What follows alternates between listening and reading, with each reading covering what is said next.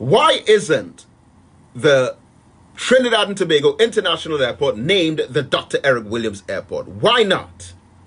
Hmm. You see, that's deep.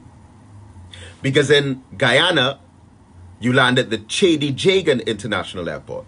Either their first president, first prime minister, first premier. In Grenada, you land at the Maurice Bishop Airport.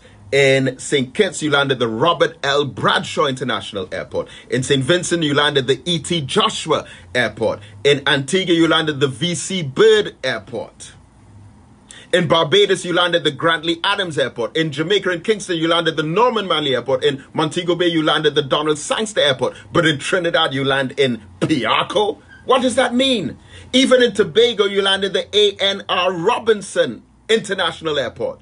But in Trinidad, our airport is still called Piarco because there's this fear that if you name it after Dr. Eric Williams, it won't reflect all of the races and all the ethnic groups and African people have to be so quiet about their own consciousness and silence their own selves and censor their own minds and put our heroes in the back because we're so afraid of offending other races and other ethnic groups with our consciousness when we need our consciousness as a bridge toward our liberation for movements and causes like reparations. And that is why when you look at Trinidad and Tobago, and I love and admire all of our national heroes, but when you ask who are the national heroes of Trinidad and Tobago, people answer Brian Lara, Dwight Yorke, Hasely Crawford, Penny Commissiong, Wendy Fitzwilliams. We name sports persons, footballers, cricketers, beauty queens.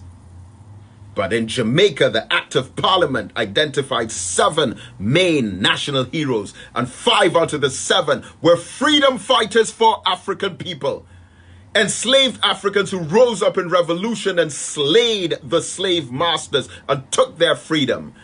Paul Bogle, Queen Nanny, Samuel Sharpe, Marcus Garvey. Those are the national heroes. How come Kwame Ture isn't a national hero in Trinidad?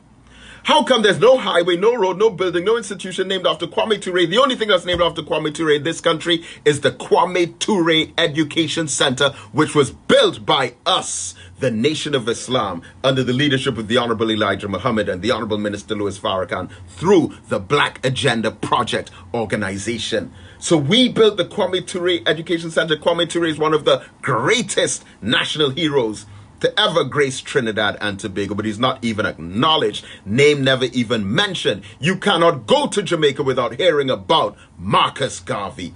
His knowledge, his ideology, and his philosophy has inspired how they live as a nation as far as loving themselves as a people is concerned. But we are afraid Africans.